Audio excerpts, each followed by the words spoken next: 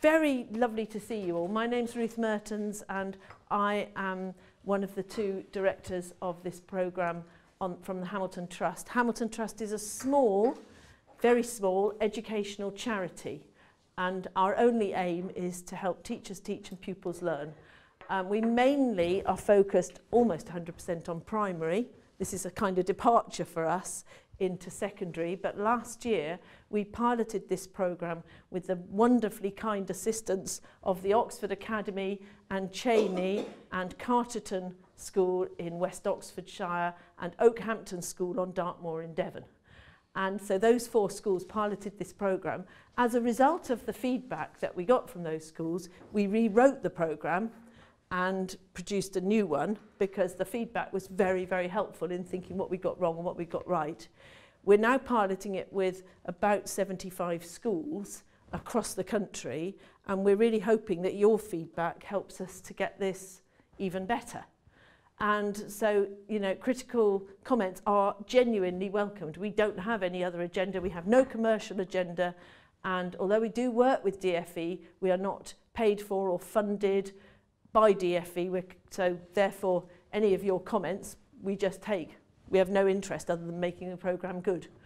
Uh, the basic idea behind the programme is that um, numeracy, that is to say, arithmetical fluency, if you like, tends to fall off between year six, end of year six, when everybody's been beep, beep, beeping at the SATs, and somewhere around year 11, when everybody's pushing at GCSE, but currently you can attain a level C at GCSE with pretty poor numeracy skills because you can focus on other aspects of the maths. Um, it won't be the case, of course, in three, four, five years' time that you will be able to do that. Numeracy will definitely, since the task force report, um, numeracy will be a much higher focus at GCSE level. Who knows what it'll be called then? But, and I'm not even going to get into that, but irrespective of all that politics, the fact of the matter is that this sort of tail off in numeracy is a not a great, uh, not great for anybody. And we were interested in preventing that from happening. And so this program is really about keeping kids' numeracy simmering on, a, on all the way through from year seven to year nine at least, so that they don't forget it all. One reason why kids kind of forget it all is because actually nowadays you can get through daily life with virtually no numeracy. Why? Because what have you got? You've got your mobile, haven't you? And also, to be honest, everything's so automated now, you don't often you don't need to do the things you used to do in the old days, I mean in the olden days, because I imagine a lot of people here don't, don't know, aren't old enough to remember the days when you had to calculate your change because it was real money in your real hand in a real, with a real till or even a drawer in the shop. Um, nowadays, that's not the case. And also, memorisation is a big issue in English education. And the reason why it's a big issue, despite what one reads in the press, is not because teachers don't teach tables or because they don't teach number facts, because I have never been in a primary school where teachers do not hammer the tables home and hammer the number facts home. The problem is that memorisation is a big issue culturally in England. Now, that's not true of all subcultures, but it is true of quite a few. Kids do not need to memorize. They do not memorize routinely, they no longer engage in those ritualized practices that we used to engage in in the 50s and 60s when I probably, when I got to school, I probably knew, I don't know, 20 prayers and 100 nursery rhymes, you know? Not because I was clever, because I wasn't, and certainly not because I was holy, because I definitely wasn't, but because everyone did. It was just what happened. And so memorization was just a part of the culture. Now, there are kids who are still memorizing in those sorts of ways from being knee-high to a grasshopper up. But most of the kids in the schools that I, we specifically work in are not engaged in those sort of practices. So I give you an example. When I asked my GCSE maths group to give me their mobile numbers, they all take out their mobiles and click them on to give me the number. Do you see what I mean? It's routine for them. I said, don't you know your numbers? Well, why, why would I? I don't need to know my number. Why would I? You know, here it is. Do you want it or not? You know, it's simple. Now, if we think about it honestly, how many of you guys actually know more than three no mobile numbers. Oh, you see, your maths teachers are not typical. That's four or five in the, in the group. A lot of us don't, do we? I mean, we don't need to, do we? Well, you know, when I was 15, I knew probably 20 phone numbers. Why? Because you ran home from school, rang all your friends before your parents got in. So obviously you knew all your friends' numbers. You know, it was just how it was. Nowadays, we don't tend to learn mobile numbers. So the culture has changed. You know, we don't live in Singapore.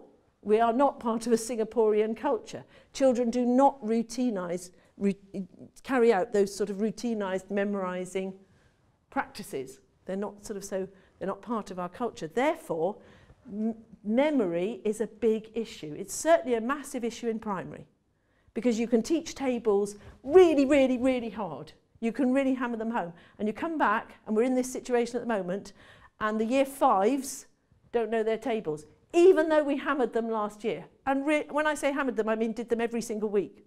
I literally can't believe they don't know them. You know, it's beyond belief to me. But they literally don't because it's hard to get children to really retain things in short-term memory. Do you find that too? Mm-hmm. Is, that, is this ringing true or is it very different in your, different for you guys?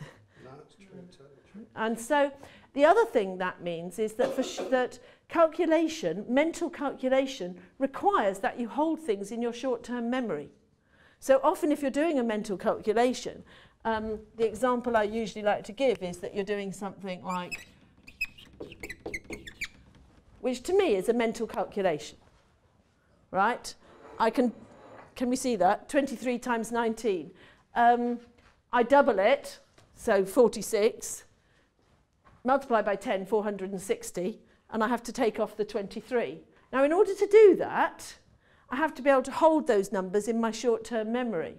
And what I find with the 15-year-olds that I work with is they cannot hold those numbers in their short-term memory. Do you have that experience? Is that, or is that again something? I mean, some can. Sorry? The ones that need to, yeah. Yeah, yeah. The ones that are on your borderline, struggling down, they're the ones that can't. Yeah, no, I know. And I think that's not because they've not been taught, it's because memory is an issue. And I think, therefore, it's something we need to address. So our view was, well, let's have a go at 10 minutes in every maths lesson, just being a sort of keeping the numeracy simmering, just keeping the arithmetic skills on the boil. And that sort of that was the sort of motivation behind this. So when you get your sessions and we send out the teacher books, which are little books like this, which are the three sessions a week going right through the year, when you get your, your little session books like this, um, that's the 10 minutes three times a, um, a week, either at the start of your maths lesson or at the end of your maths lesson, or it could even be in another lesson if you wanted. Um, some schools like to do it as part of tutor group. You will then, of course, the, the, the teachers delivering the programme won't be math specialists. So that's something you might need to think about. To be honest, you don't need to be a math specialist because th this is basic arithmetic fluency. It is not rocket science, you know. But the person would have to be confident in, in, in delivering this. So that's a factor. Um, it, it is normal, normally the case that it's three times a week in a maths lesson and it takes up a space in the maths lesson. Last year, Oakhampton did it at the start of the lesson. This year, they're doing it at the end of the lesson because they said it overflowed into the rest of the lesson too much. So they're putting it at the end. So, you know, actually, as, as they said, after, I think their lessons are 50 minutes, after 40 minutes, kind of you've lost the will to live anyway. So, you know, having, having, um, having a line and saying, right, now we're doing this is not a bad thing. So, I mean, it's up to you whether it's the beginning of the lesson or the end of the lesson. Um, it could be either. But it, it's three times a week, little and often, drip, drip, drip, all the way through the year. So you've got no chance to forget these things. They're just kept going. And the reason we put the sessions together in sort of that's one day, and you've got it there as a, as a sort of prompt, is so you don't have to think about each lesson, think, oh goodness, what am I going to do this time? And did we do multiplication or was that last week? You know, that sort of thinking. You know, have I been practicing just the same thing all the time or am I getting a good coverage? This is a spiral and it gives you a really good coverage of basically place value, number, um, addition, subtraction, multiplication, division, a little bit of percentages, negative numbers, things like that. Sort of basic stuff, just keeping it going. Um, when we're thinking, I, I mean, I, I love being interrupted. So if anybody wants to interrupt, that's wonderful. It means I know people are still with me. so it's when people start tapping their watches I get worried. Um, so um, the, the general principle is little and often keep it going. We, shall, we also have a homework bit that goes with it. And we are giving homework, the charity is providing homework books free. So just ask us, tell us the numbers you want, and we will give them to you. Obviously, the teacher materials are free. They will all be free on the site as well. So you can get them via the site and you can get them in hard copy. And just ask us how many homework books you want and we'll give you the homework books. Um, we also have little numeracy packs, which are dice and cards, so that if you feel like some of your pupils won't um, you know, have those things at home and might need them, then you, we can give you those. Unfortunately, we can't provide those free, but I believe they're a pound, are they not, Alison, for the little pack? So if you let us know how many you need, if you wanted, say, 30 of those, just let us know. Um, the homework books and the teaching materials, obviously free. So do they need the packs? No. They don't need it. Well, I mean, some, sometimes the homework, a lot, of, a lot of the homeworks require that they do something and then they can go on to a game site and play the game. Some of the homeworks require sort of some dice or some um, card things. You wouldn't need it, that would be an exaggeration. But if you have some pupils you feel it might help, like a targeted group, then you might want that. If you have some targeted groups that you're maybe doing some extra numeracy with, to get the little resource packs for them in school. I mean, Okehampton bought them for their targeted groups in school. I think that can obviously help as well. It's totally up to you because that is a cost. But we, you know, if you don't want to do that, that's fine. Um, we actually slightly subsidise them, so it's not like we're making money on them. It's just that we can't give them free. But we are giving um, the homework books and the teacher materials. Um, as I said, we are a really small charity um, and we're indebted to Mike O'Regan, who's the director of Hamilton Trust over there. Um, it is the case that uh, with, when you're talking about numeracy, it's, it's a bit of a how long is a piece of string, isn't it?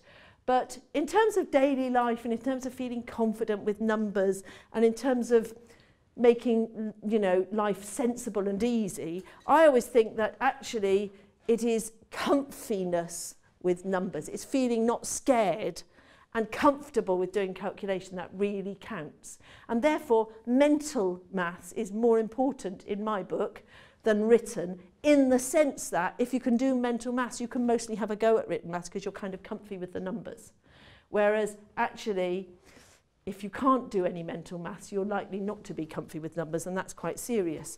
Now, as we all know, the problem with mental maths is that actually, in order to be able to do mental maths, you have to have some understanding of how numbers work. And I always say the, the three things that underpin that are one, there's, if you like, there's three pillars, or maybe maybe you'll say four pillars that under, underpin numerical fluency or arithmetic fluency. Um, the first pillar is place value. Children who don't, or students who do not understand place value, how numbers work, are absolutely sunk. And it is remarkable how many of those there are.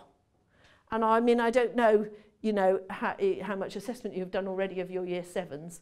Um, I've just assessed my 15-year-olds for this year, and it is extraordinary. I mean, I use um, five questions, and one of them is, can you write the number 101?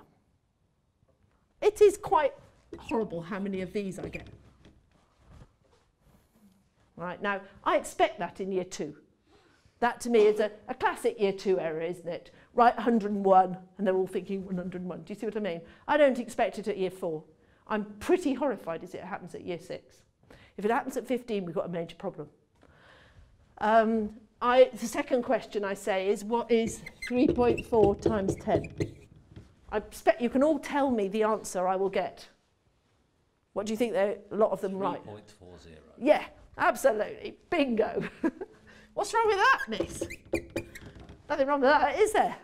Why? Because when you multiply by 10, we all know what you do. Yeah, you add a zero. So, you know, wonderful. Um, I say, what is 10 less than 10,000? Well, that produces some nice, interesting answers. Oh, we all get a bit tangled there. You know, it's often 9,000. That's quite a good one. A lot of them put 9,900. That's another quite good one. It's an interesting one to ask the kids. But it's surprising that ones I think are quite good get it wrong. It is surprising how, you know, how place value, you really start seeing what kids do and don't understand. And the final one I give them, I've discussed this before with Chris, is 0.2 times 0.2. And of course, what do they all write? Yeah, 0.4. It's obvious. And that to me is the most serious. Because if we've managed to get all the way through to 15 without understanding that if you multiply two numbers that are less than one, the answer is smaller, you know, and I always use the, I say it's a cake question. I always say to them, this is a cake question. If you've got half a cake and I want half of your half, am I going to get more or less than half? You know, once you put it into cake terms, it's, well, if you like cake, it's really clear. So, it, you know, I think that to me indicates a lot of mis, a lot of um, quite serious misconceptions. And it's sort of interesting. So place value is totally key to arithmetic fluency and to comfiness with numbers. So we've put quite, especially in response to the feedback, quite a lot of effort into making sure we're doing things which reinforce place value so you can see where the problems are and sort of tease them out. Um, the second sort of pillar is that children should have a really good bank of number facts. And that comes back to the memorization. And it's not just tables, is it? It's things like, you know, 67 and what makes 70? You know? And, I, and I'm looking at the 15 year olds going, oh, 67, 68, 69. I'm like, oh, for goodness sake, oh, away the, you know. Can we not get this in our heads now? I know it's taught in primary. I can't blame the primaries. It is a fact that it's just fallen out their heads. Now, it is after summer, everything falls out their heads. So I do understand that. But it's keeping those there. And it's also tables facts. And it's also translating a fact you know, like 7 and 3 is 10, into 2.7 plus 0.3 is 3. You know, those sorts of things. Kids don't make those connections, do they? I mean, that's my experience. So it's getting those connections on the map. The third pillar is that kids need a sort of good mental bank of images and models that they sort of carry around in their head so that numeracy anyway, numbers are not totally abstract and they're not sort of going at it like a guessing game. You know, you're asking me a question, I'm trying to guess what's in your head. You know, I'm, I'm trying to guess what happens. Do I put a one there? Is, it, is, is that what he's wanting me to do? I'm not sure. You know, it's, it's that sort of guesswork that upsets me. There's no model that they're resting on. Clearly, the number line is a really crucial model here. Obviously, number grids of all de description are useful models. There's place value cards, there's Dienes blocks and base 10 equipment. Money makes quite a good model for decimals, although the classic is write one pound and 5p as a decimal. You know, I always get 1.5. So that's another classic, isn't it? But money does make quite a good model for decimals, although it creaks a bit. Um, so getting the images and models, again, what we've tried to do in the spiral curriculum here is reuse the models and images so you're going back to the same thing, so you're really making sure that that underpins their learning. I mean, it, you know, it should be in place, but it might not be.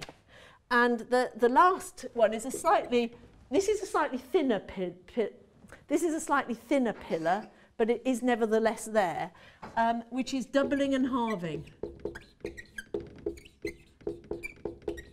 And the reason I include it is because you need it when you're doing mental strategies in multiplication and division. Because if I'm doing 19 times 5, I need to know a good strategy for that is to, is to um, do 190 and halve it. And that's, that, that sort of thing is useful in multiplication and division. Doubling and halving is surprisingly useful. Surprising how often we use it in multiplication and division mental strategies. So that's why I, do include it, although I would accept that it's not as strong a pillar as the others. The problem with arithmetic fluency, and everybody in this room will be highly fluent in numbers, but the problem with it is that if you don't understand, if you have no conceptual understanding, then it is impossible. And so that the reason for that is because if you're doing mental maths, you have to choose a strategy. That means you have to read the numbers. That means you have to know comparatively how big or small the numbers are. It, to make this point, if I do something like um, 63 minus 7 uh, 63 minus 58, uh, 163 minus 99. If I do those, put those three calculations, if you can just take one minute to talk to your maths partner, who happens to be sitting next to you, you didn't know it, but they are, you're on your own there, aren't you? Story of your life. He's got he's, he's got an imaginary friend there. Um, so if you if you can talk to your maths partner about just very quickly mentally how do you do each one. So if um, what's interesting here is um, put up your hand if you used exactly the same strategy for all three. So first of all, the point is. I suppose I did, because I did multiples of 10. 63 take 10 out. Okay, so each time you did, yes, a rounding strategy. Ooh, clever. Okay. If I'd have made that five, you might have had a bit more trouble. Just a thought. Um, it, yeah, I take your point. It's interesting, isn't it? Because by and large, I mean, this one, put up your hand if you use some sort of counting on strategy. Yeah, so some description. And this one, did you not use some type of adjustment strategy, i.e. taking off 100, yeah? Is, am I right? This one is going to probably generate the most diversity in the group, in that there'll be those who are kind of wedded to bridging 10, will take three off and then another four off, sort of idea. A lot of people may know the number bonds 13 subtract 7, they know that's 6. The thing is, you're a very untypical group.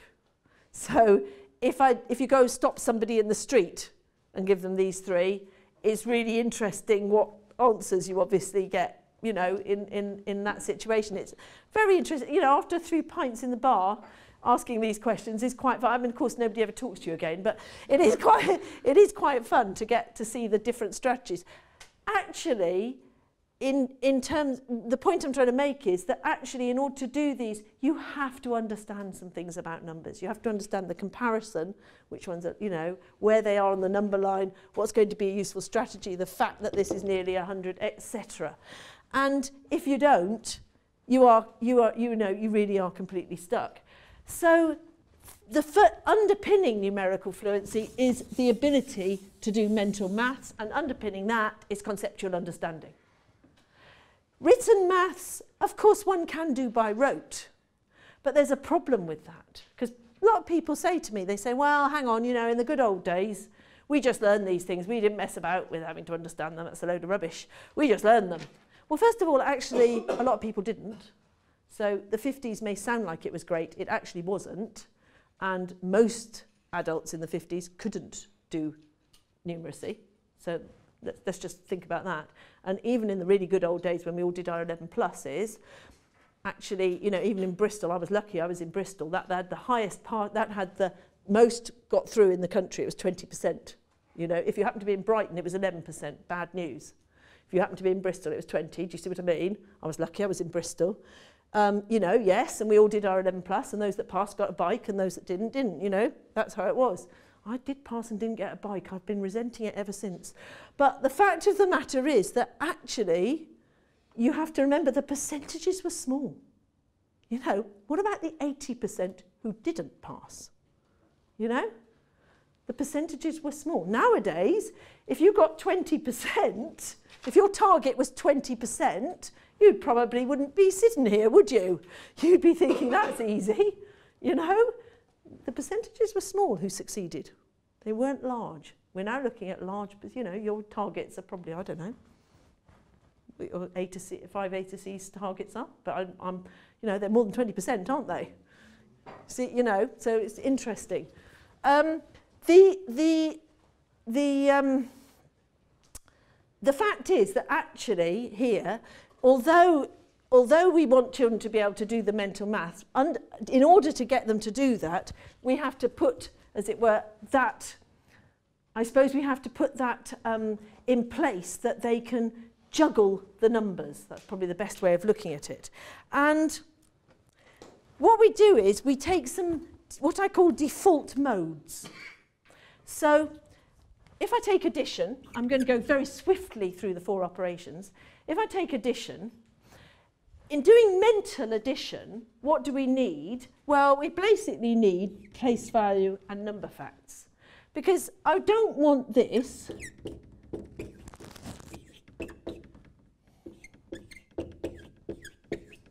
to be, I don't want that to be a written addition. It may be big numbers, but it's not a written addition, is it? that should be no harder to the child than 24 and 12. Do you agree? And even if I change it and make it, that should be no harder. Would you agree about that?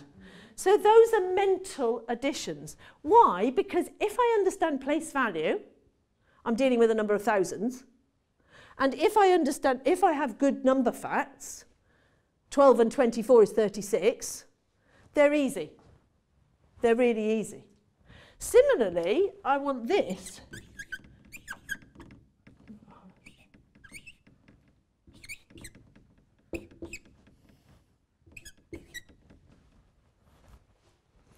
I want that to be a mental calculation. Now, it's not necessarily the case that kids will recognise the bond, although it's wonderful if they do, but I certainly want them to recognise that 84 and 16 is something I can do in my head. And that that calculation is one that, you know, isn't, it, I don't need to put the column addition out for because I don't really want them doing a column addition for something like this. Now, getting, getting to that, I need these two things. That's the basis of it. And if these two things are in place, these won't be difficult. If they're not in place, they'll be very difficult. And also, a lot of children go for the column addition because they're a bit scared. So actually practicing the mental fluency is very useful because it stops them going for the column addition and also helps keep their short-term memory sort of, you know, you sort of use it or lose it. If you don't keep your short-term memory honed, if you don't keep using it, you lose it. In subtraction, the same is true, but it's even more serious. So this question completely floored nine-year-olds in Britain some nine years ago. when it was one of the international test questions. And the reason it floored them, sorry, 2003 minus 5, the reason it floored them is because they all wrote it up as a written subtraction. And once you write that as a written subtraction, you're really onto a hiding to nothing. You're going to have a lot of borrowing here. It's not going to be very successful. In fact, it's not a subtraction question, is it? It's a place value question, basically. That is a place value question. And so that, you know, that recognizing that is very important.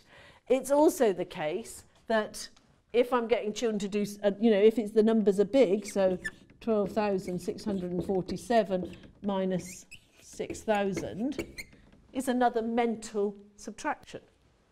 And it's a mental subtraction because the numbers are pretty friendly and if I understand my place value, I should be able to do it mentally.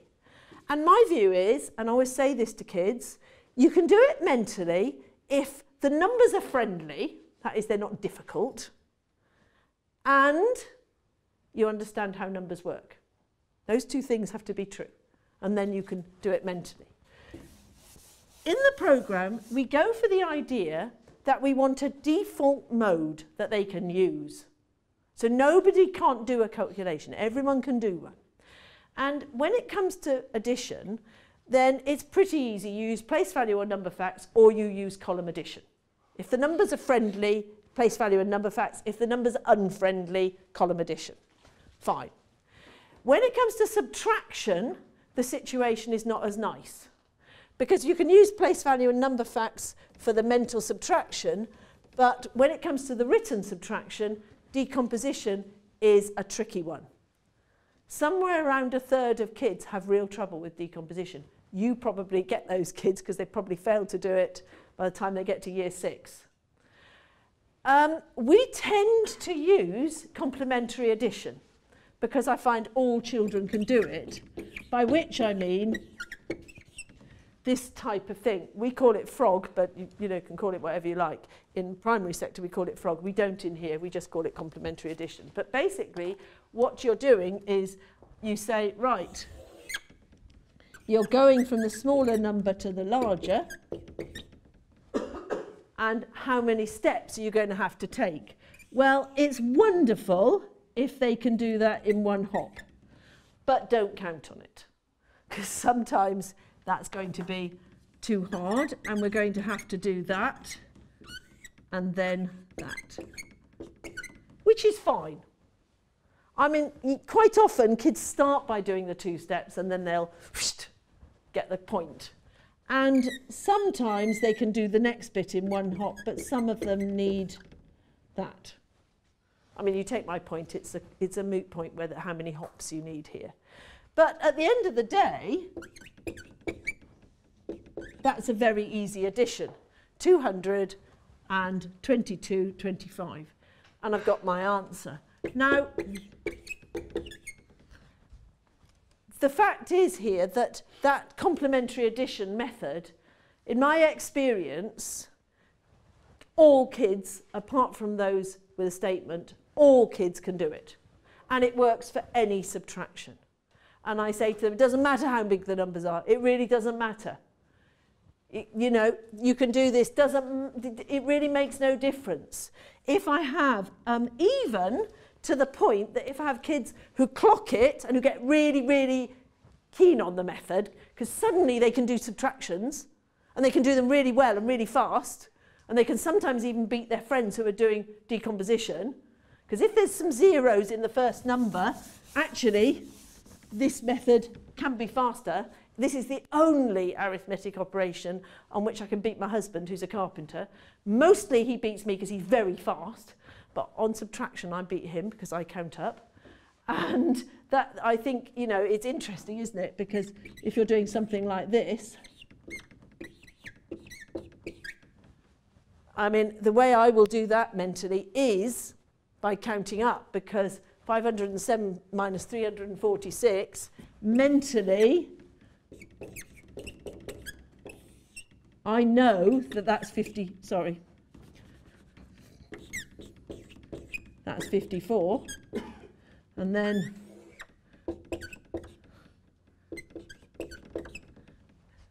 that's pretty easy. And I think once kids get good at this and they see that they can do do tell me if I make an error because I'm famous for writing the wrong thing up on the board, not noticing. Um, if, if, if, you know, if kids get good at that and they've never been able to do hard subtractions, they feel really good about it. It's kind of interesting. In the summer school I was working in, I had a kid who was doing this one because I was using it to explain, and she would not have a bar of counting back. She was just not, she said, oh, no, no, no, no, no, I can do this. Off she went you know. And so I was quite surprised. I said to her, we, we call this frog because frog hops along the line. And I said to her, I think it's cruelty to frogs to make frog do all that work. But she did say he could have a fly at the end. Um, you know, she went, and then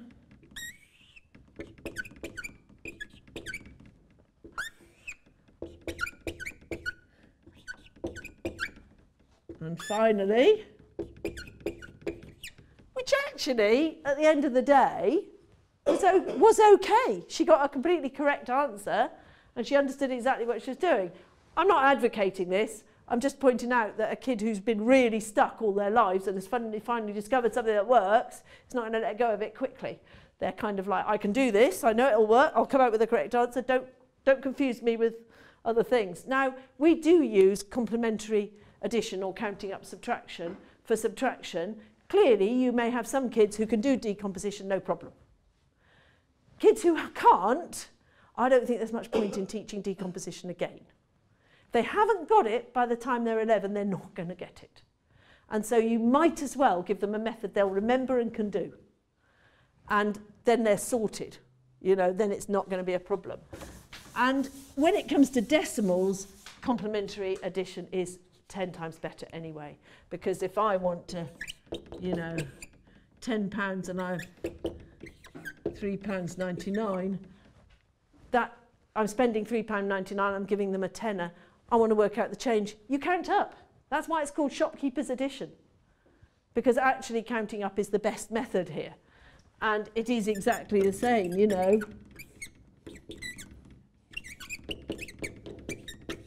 And then, whoa, to £10. And, you know, I've got my £6. I've got £6 and a penny. Now, I may not be able to write that down, but, you know, at least I know what I'm doing. It's so it, it, it, it, you know, it's a useful default method.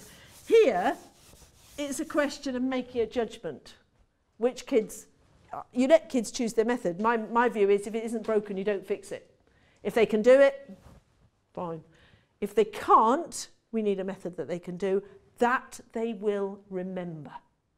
And that's the key. Because one of the problems about talk about saying, oh, it used to be fine in the 50s, or we, when we taught it by rote, it was all better. One of the problems is that that relied on a culture where memorization was very much part of what you did in a routine way.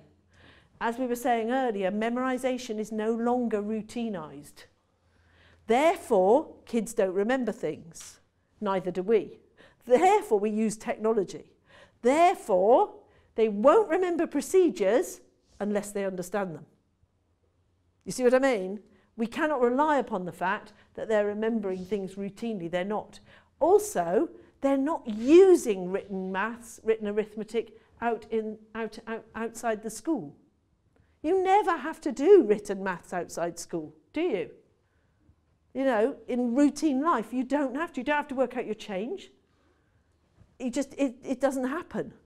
And so therefore, actually they're getting no practice.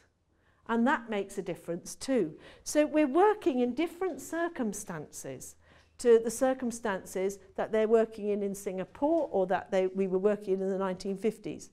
And so we have to be thinking, what works now? What works with my 15-year-olds who've all got their numbers on their mobile and don't know any of them?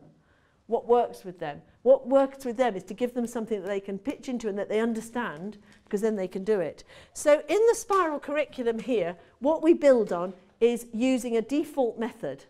Default method for um, addition and subtraction. Mentally, use your place value, use your number facts. Default method, method for, for addition, column addition, fine, no problems there. Default method for subtraction, using the counting up. Those who can do it, use decomposition, fine, no, no problem. Default method for multiplication, we use grid. And this is now so common in secondary schools, I imagine that most people use grid. So if you're doing, I don't know, 356 times 8, would you be, would a lot of yours be doing the grid? Yeah? Do a lot of people do that? And the advantage of grid is that it brings out the place value. 350 and 6. And therefore that I've always got the place value sort of sorted, as it were. The disadvantage is that sometimes you can get a lot of adding. And that is a downside. And there's an argument for moving to what I call ladder, where we, we have exactly the same numbers, um, but we're, you know, we are um, lining it up vertically. The problem is that actually it's surprising that this, for some kids, is a lot easier than this. It really makes a difference. There are some kids who really find the move from the grid to the ladder quite hard. And so, again, a default mode, everybody can use grid. Some people use Napier's bones. Does anybody use Napier's bones? Or, um, yes, yeah, which kids really, I find quite a few kids really like that, which is another way of doing it and fine.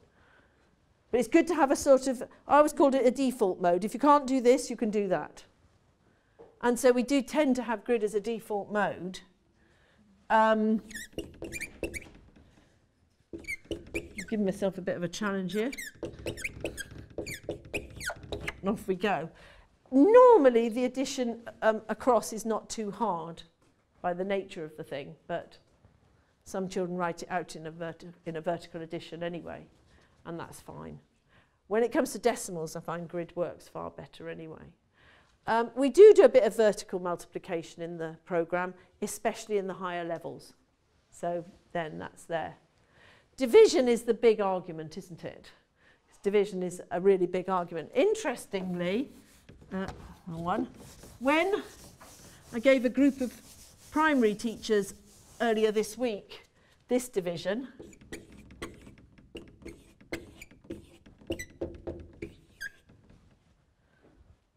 That really, yeah, that really stymied them. They were not happy about that at all.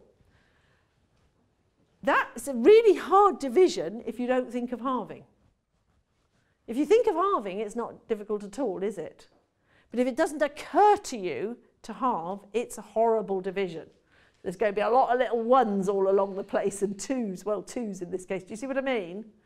And so that's where mental strategies again come in so importantly because actually that, that, that shouts halving to me, doesn't it to you? But you're all maths teachers. So again, you're not, you're not typical. So again, one of the things we focus on in the programme is look for the fours, look for the eights. They're easy. Look for the fives and the tens. They're easy. You know, what, then there's not so many you've got to worry about, are there? You've got a kind of a mode you can do things you know, and that helps. Um, in terms of division, we use the multiples. We try and use the multiples. If we've got 8 into 904, let's take out 800 of them first. Let's take out 800. That's 108. What are we left with? You see what I mean? We're left with 104. Okay, well, how can we deal with that? So we try and take out some of the multiples. Well, I can, you know, I, I know that 100 lots of 8 is 800. So if I get... Okay, well, supposing I'm not very good and I don't know my 8 times table up to 12 eighths, supposing I... I all right, I'll think 10 eighths. Okay, now I'm in business. And so basically that, again, it pulls out the place value because 100 times 8 is 800, and it pulls out understanding. Because I'm always saying to them, well, come on, what's this? What is this saying to me? It's how many eights, how many boxes of, or how many sets of eight cans of Coke can I get out of 904 cans? You know, and it's reading that. A lot of kids say to me, especially age 50, I don't, I hate division, I can't do division. I would say, fine, I'm never going to ask you to do a division. Don't need to do any divisions. You'll have to do a few multiplications with holes in. That's a multiplication with a hole in. But, you know, I want them to see the in, that, that, that they are the inverses, that division and multiplication are inverses, and also I want them to see what division means, because I think when kids say, I hate division, they don't know what it means. They're thinking, I don't know what to do. And what, when kids say, I hate division, what they're thinking is, I don't know what you do next. That's always what they say, what do you do next? You know, it's that sort of question, isn't it? So I guess what I'm, I'm to summarise, I'm saying is that what we've tried to do is put together a spiral program which has some default modes, especially in the, there's four levels here. There's stepping up and then keeping up and then simmering and then shining. In the stepping up and keeping up, we try and use the default modes and really go round and round doing different things, hopefully some of them in a slightly investigational way, to practice those skills. In the simmering, we take it that kids can do that, And what we're doing is keeping them simmering.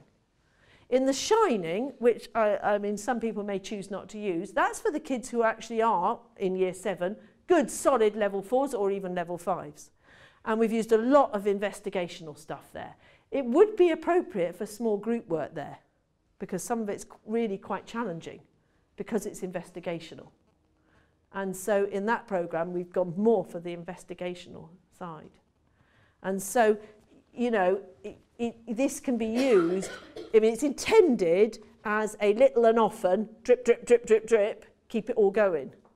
But if you have targeted groups, choose the appropriate program, use it for the targeted group.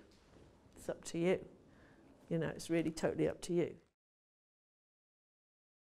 Has anybody got any questions how it will run or any of the, or, you know, um, anything else, anything organisational, which I might not be able to answer, but my colleagues will.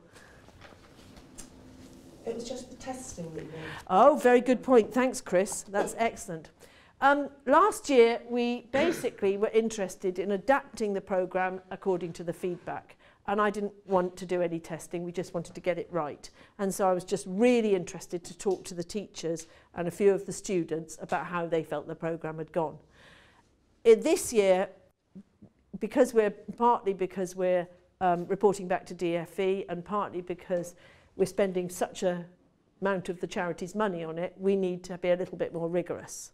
And so therefore, what we're going to do is ask you to do a very quick test. You do not have to hold up the program. If you want to start it next week and we haven't got the test to you, you can start it. Doesn't matter if they've done a couple of weeks of the program, that's not going to matter. But we give you a quick test. It's intended to take somewhere between half an hour and an hour. It can, the fastest so far that anybody's done it in is 10 minutes. But I have to admit that wasn't me. And um, it, it, it could be, it's 50 questions, so it's 50 numeracy questions. Um, they, they do it online, but if you don't want to do it online, we can give you a paper version. Even if they're doing it online, they should have a piece of paper so that they can make notes, and that's fine. We just want you to put the kids through it, so it's basically um, a half hour, 50 minute session that they do the test. And then we don't need individual pupil scores, but you might like them. Because actually looking down the pupils I've had do it, looking down their scores is quite interesting. It actually tells me quite a little bit. So it's up to you. But what we shall ask you to do, what we will give to you is the test online. You will, ident you will give the pupils numbers. We don't want to know the name behind the number. But you'll give your pupils numbers, so you'll know that, you know, Fred is number one and Annie's number two and Fred is, and Harry's number three and so forth. And they will put in, they go in, they put in the, they go in through the school, put in the school, they choose a year group, seven, eight, nine, whatever. Then they put in their number that you have assigned them. They do the test. The results will be emailed to you at the school, so they won't see their results. Because I think it's important that kids don't see that they you know, they maybe got 10% or 5%, that's discouraging. And, you know, they probably won't do very well at the beginning of the year, at least some of them. Hopefully they'll do a bit better at the end. Um, and then we shall repeat the test in June or July. And the result, we'll then have results for each year group in each school to see if there's been progress. We do not need individual pupil names, we do not need individual pupil scores, we only need aggregates, we only need the year group. You see what I mean? So we're only interested in aggregates. It's a very broad, it's a very blunt instrument, but it will give us one piece of data. We shall also ask you to contribute your feedback, which actually will be far more valuable to me because it will tell me, well, is the program too easy, too hard? Does it work only with these kids, not these kids? You know, should it be longer? Should it be shorter? You know, all those things, which is what we really need to know. But the test will be one amongst other pieces of data. And so we do ask that you do that. You can either do it online or paper if you prefer. It's up to you. Yes. So are you going to ask us to test them then at the end of the year? Yeah. June, June or July. So it'd be one test at the beginning, one test at the end. Same test? At the moment, I was thinking yes, but I'm now thinking maybe I will match questions and just change the tweak the numbers. Though I cannot imagine anybody remembering across a year. Because to be honest, in testing the test, I've done it myself four times and I haven't remembered the numbers. I've had to do the sums each time. So uh, likelihood, same test. If it's not the same test, it will simply be the numbers changed. It would be the Is it same. multiple choice or do they No. enter the numbers? No, they actually enter the numbers. Oh. Yes, I don't like multiple choice. I mean, it's tricksy, isn't it? Well, we just did it for the CATs. And Oh. You just can't No. it, can you? No, you can't. No. So, oh no, they enter the numbers. Yeah. Does anyone in the room know how to disable the calculator on computers though? Oh, what a good point. Never even occurred to me. Mind you, you'd be very slow. You'd really be slow. I mean, you would probably only score a third because you would not be fast enough. And it would be very obvious because unless you were very clever and dodged around in the test, it would be, and I'm not even sure you can do that because I don't think you can go back. So actually, you'd probably, I, I would say to them, if you use the calculator, you will fail because you simply will not have enough time to be getting the calculator, doing, entering the numbers, doing the, you know, I mean, some of them are like this, you know, 1,000 minus 2. By the time you've entered that, you, you know, it's going to take you a long time, isn't it? Also, there's some fractions, going to be a little bit tricky on a calculator. Oh, really? That's really clever, though. My goodness me. I think you'd get some points for intelligence if you worked that. I don't know. Does anybody know how to disable? We'll, well, I'll tell you what, we'll look into that. Uh, it's a Dan question. We'll ask, our, we'll ask our technical geek. School technical geek should be able to remove it from the application menu if you ask them to, Yeah, I guess so. I hadn't even, hadn't even thought of it. From the application menu forward. Yeah. Any other questions? Can I just, ask something, and I really don't want to put dampers on it, but what worries me by testing them, they've actually had a whole year of maths as well. So how are you going to measure it? Because you would hope that they would score better. I'm not. so I mean, I'm don't going to say, there's no way we can say, if supposing that it was 20% of the year sevens who scored um, in, in September, sorry, that 20% of the year seven scored, say, above 70% in September, and in June, 40% of the year seven scored above 70. Let us suppose that that was the, just for the sake of argument, that was the thing. I can't say that's due to the HSNP. That, I can't say that. What I can say is there was a gain. Between the maths and the HSNP, there was a gain. Looks nice. My my key, if it, my key is, are you then saying to me, actually, we think this helped? or are you then saying to me, actually, Ruth, we get that score anyway? In which case, I'll say, fine. You know, then my next question will be, do you think we can make it any better? If so, how? Or do you think actually this isn't the answer anyway? You see what I mean? The point of a pilot and the point of putting money into a pilot is to find that out. So if you get a gain on the test, if we get a gain on the test, I'll be saying to you, do you feel that was the program? Do you feel it was actually what you did anyway? Is it more or less than you would normally expect? Have certain children done a lot better? Others it hasn't affected at all? You know? Those will be questions, won't they? We'll have plenty of raw data. You'll have the individual pupil data, we won't. But you will. So that'll be interesting to you guys. So, To have one more thought, it might be nice if we have that summer break as well that you talk about because Oh. if we're doing there's there's all kind of factors that are going to. I know, I know, that's yeah, true. Have they retained it? Is it? Have they retained it? Is going to be a big question.